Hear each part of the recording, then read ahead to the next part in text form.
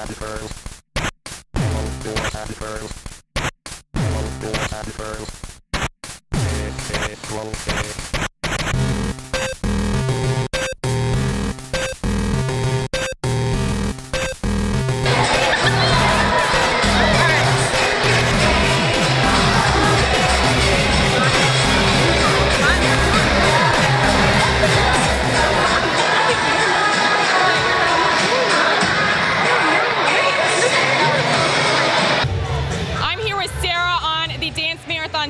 Committee.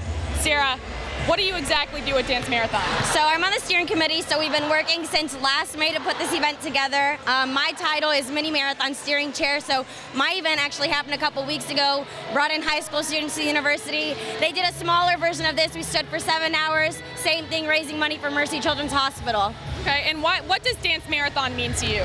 So doing it for four years, I danced my freshman year, core committee the last two years, and now steering. And I've gotten to know the Miracle families and the Miracle children, and they have just become a part of my family.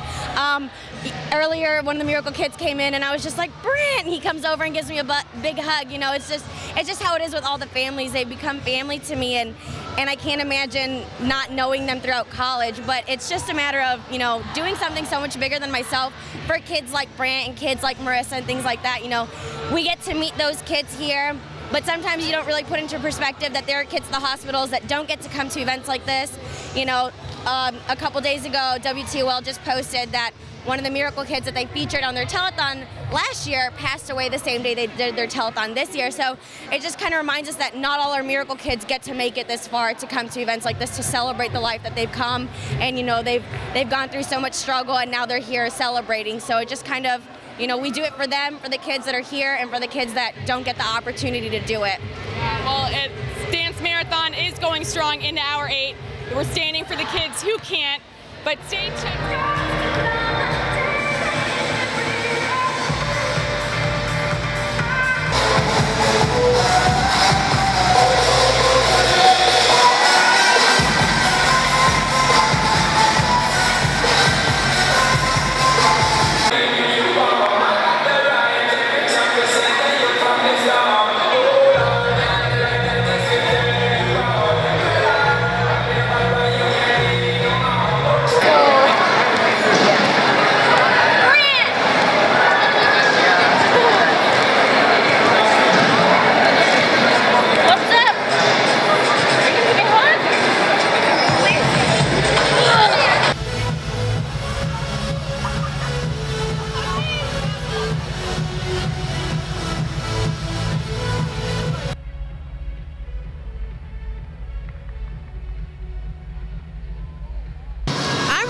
Cawthon here for BG24 News, and I'm here with Anna, Anna. She's a dancer here at Dance Marathon. So, how many years have you been doing this? This is my third year. Third year. So, how do you manage to like keep your energy up and keep going? The best way I found to keep my energy up is to just keep moving, keep dancing, keep playing, just keep keep moving. Okay, so now we're about to go into our hour nine. Stay tuned for more court coverage, and be sure to follow us on social media at hashtag BG24DM.